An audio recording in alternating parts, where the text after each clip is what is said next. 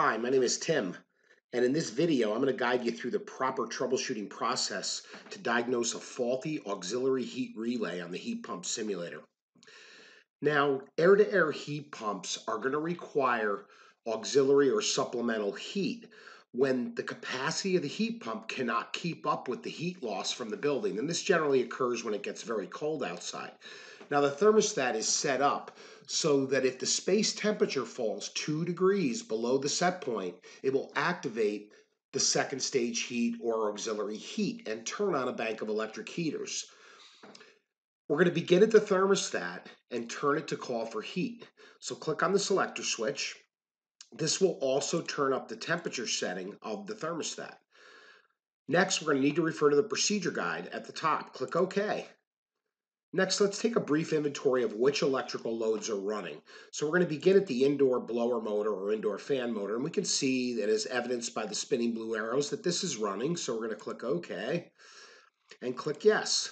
Next, we're going to proceed to the outdoor unit and check the compressor and the outdoor fan motor. Now, from the spinning blue arrows, we can tell that the compressor is running, but we're going to remove the cover here. So just click on it, the cover will come off, and we can clearly see that both the outdoor fan motor as well as the compressor are both running. So we can go back to the procedure guide and click yes that the outdoor fan's running and yes that the compressor is running.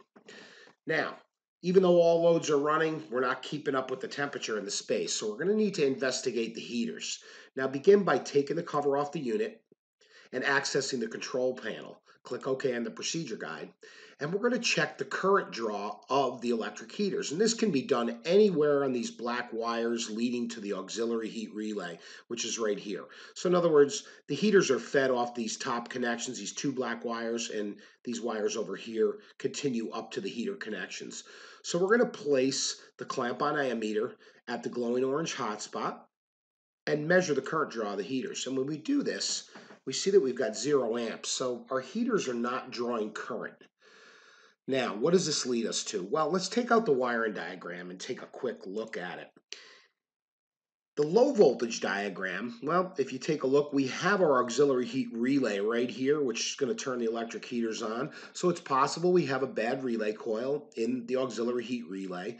It's also possible that there's a malfunction in the thermostat, and the thermostat is not sending 24 volts out of this W2 terminal, which again is the, the second stage heat to that auxiliary heat relay coil. So that's two possible causes. And now let's look at the line voltage diagram. And when we look at that, we can see our auxiliary heat relay right here. Um, AHR, we also have the heater itself right in the middle. So we don't have a whole lot of possible causes here. We've either got the relay, the heater itself, or possibly the W2 function or second stage function of the thermostat. So now that we've determined that the heater is not drawing current, our next step is to click no on the procedure guide and we're going to take some voltage readings. I think the first step, logically, is to measure for 24 volts at the auxiliary heat relay coil. Now I'm going to zoom in a little bit. This would be the white and blue wires here in the center. This is the auxiliary heat relay in the center. So I'm going to slide the meter over and we're going to measure for 24 volts. This will verify if in fact the thermostat is sending 24 to the coil of that relay. And when we drop the meter leads on the glowing orange hotspots, we do in fact have 24 volts. Now this eliminates the thermostat as a possible cause here. Now our next step is to measure for line voltage coming to the auxiliary heat relay. And these would be these two bottom connections, the red and black wire. We just want to make sure we don't have a loose connection in one of the wire nuts with the main feed or the main voltage going to this relay. So we're going to place our meter leads at the two glowing orange hotspots. And when we do this, we have 240 volts coming in. So we have power to the relay. We have power to its coil.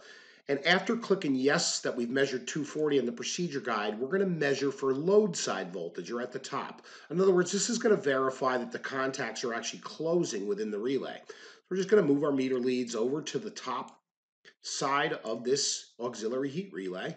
And we do this, we have zero volts which verifies that the contacts are open within the relay.